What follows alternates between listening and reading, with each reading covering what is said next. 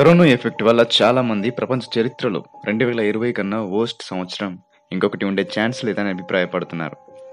మీలాగా నేను కూడా అనుకున్నా. ఎందుకంటే కరోనా వల్ల ఇప్పటికి పదిహేను లక్షల మంది చనిపోయారు. అంతేకాదు ఇండియా చరిత్రలోనే ఎప్పుడు లేనంత ఎకనామికల్ డిజాస్టర్ లేదా ఆర్థిక పతనం కూడా చూశాం. ఎంతో మంది జాబ్స్ కూడా పోగొట్టుకున్నారు.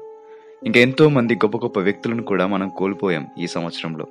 కానీ సైంటిస్టులు మరియు చరిత్రకారుల దృష్టిలో ఈ సంవత్సరం కన్నా చెత్త సంవత్సరం ఇంకొకటి ఉంది. అదే ఫైవ్ థర్టీ సిక్స్ ఏడి అసలు ఆ సంవత్సరంలో ఏం జరిగింది? ఎందుకు సైంటిస్టులు చరిత్రకారులు ఫైవ్ థర్టీ సిక్స్ ఏడిని ప్రపంచ చరిత్రలోనే వర్స్ట్ ఇయర్గా భావిస్తారో ఇప్పుడు ఈ వీడియోలో చెప్పబోతున్నా.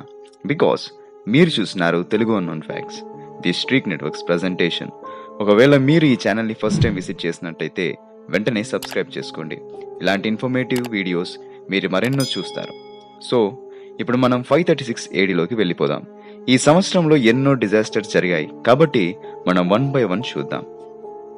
నంబర్ వన్ ప్రపంచమంతా బూడిద కురవడం. ఫైవ్ థర్టీ సిక్స్ ఏడికి చెందిన బిజంటైన్ సామ్రాజ్యానికి సంబంధించిన ప్రొకోఫియస్ అనే చరిత్రకారుడు తన పుస్తకంలో ఫైవ్ థర్టీ సిక్స్ ఏడి గురించి ఇలా రాశాడు. సూర్యుడు ప్రకాశించడం లేదు. సూర్యుడికి ఈ సంవత్సరం మొత్తం గ్రహణం పట్టిందేమో అన్నట్టుగా అనిపిస్తుంది. ఎక్కడ చూసినా భయంకరమైన చీకటి. మైకెల్ ద స్క్రైబ్ అనే చరిత్రకారుడు కూడా సూర్యుడు నల్లబడ్డాడు. ఎటువైపు చూసినా చీకటే. ఈ చీకటి పద్దెనిమిది నెలలు ఉంది అని తన పుస్తకంలో రాశాడు. ఆ కాలంలో అందరూ సూర్యుడి పని అయిపోయింది. మేబీ ఇదే యుగాంతం అయి ఉంటుంది అనుకున్నారు. సో దీనిపైన రీసెంట్గా రీసెర్చ్ చేసిన సైంటిస్టులు అతిపెద్ద అగ్నిపర్వతం పేలిందని ఆ మంటల్లో నుంచి వచ్చిన బూడిద వాతావరణంలో చేరి భూమిని కప్పేసింది కాబట్టి ఆ సంవత్సరంలో సన్లైట్ కానీ వర్షాలు కానీ లేవు అని కనుగొన్నారు. Number two. కరువుకు దారితీసిన చీకటి. మనందరికీ తెలుసు చెట్లు బ్రతకాలన్నా పెరగాలన్నా సన్లైట్ చాలా అవసరం. సో ఫైవ్ థర్టీ సిక్స్ ఏడీలో సంవత్సరం మొత్తం సన్లైట్ భూమి మీద పడలేదు కాబట్టి చెట్లు అన్ని చనిపోయాయి. సో ఇలా ప్రపంచం మొత్తం కరువు బారిన పడిపోయింది. ఇది ఒక్కటే కరువుకి కారణం కాదు. భూమిపైన టెంపరేచర్ వన్ పాయింట్ సిక్స్ సెంటీగ్రేడ్లకు పడిపోవడం కూడా ఇంకో కారణం. నంబర్ త్రీ ప్లేగు వ్యాధి మరణాలు. సన్లైట్ వల్ల మనకు వైటమిన్ డి లభిస్తుంది.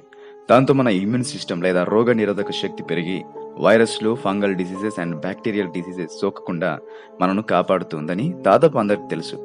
అయితే ఈ ఫైవ్ థర్టీ సిక్స్ ఏడీలో సన్లైట్ లేక అందరి రోగ నిరోధక శక్తి తగ్గిపోయింది.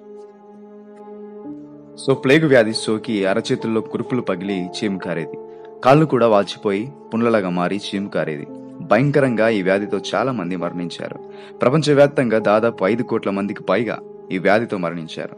జస్టినియన్ అనే బెజెంటైన్ చక్రవర్తి తన సామ్రాజ్యంలో ఎక్కడ పడితే అక్కడ ప్రజల శవాలు కుప్పలుగా పడి ఉండడంతో వ్యాధి సోకని వాళ్ళకు ఆ శవాలను ఈడ్చుకుపోయి సముద్రంలో పడేయమని చెప్పాడు. దీనివల్ల ఈ వ్యాధిని జస్టినియన్ ప్లేగ్ వ్యాధి అని పిలవడం మొదలుపెట్టారు. నంబర్ ఫోర్ చైనాలో ఎండాకాలం మంచు కురవడం.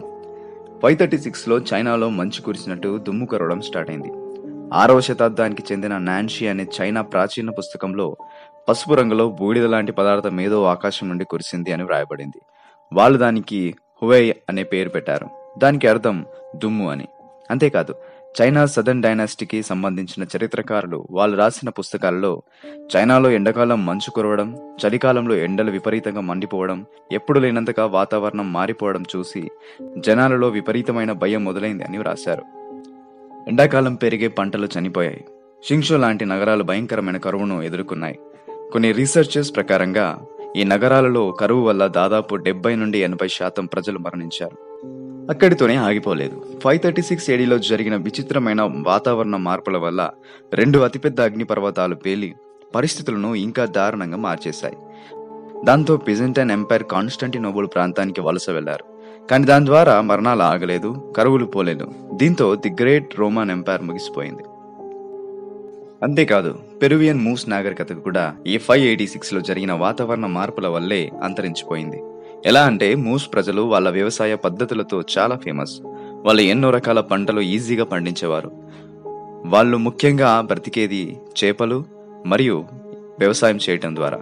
అయితే సన్లైట్ లేకపోవడం ద్వారా పంట పండక వాతావరణ మార్పుల వల్ల చేపలు చనిపోయి మూస్ నాగరికత ప్రజలు తినడానికి ఏమీ లేక ఒకరి తర్వాత ఒకరు చనిపోయారు. సో అలా ఈ సివిలైజేషన్ స్టోరీ ఎండ్ అయిపోయింది.